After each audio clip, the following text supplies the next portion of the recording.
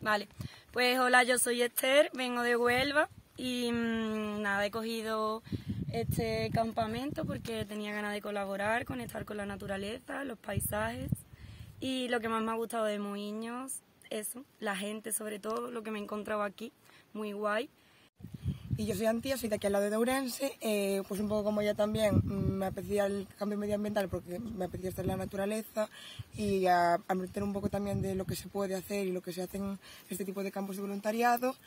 Y lo que más me ha gustado también es, aparte de encontrarme con mis compañeros, que hemos hecho bastante buena piña, pues siendo de tan cerca era un paisaje que no conocía tan bien y me ha llevado una grata sorpresa, la verdad. Sí, yo también. Grabarlos a todos que son guapísimos.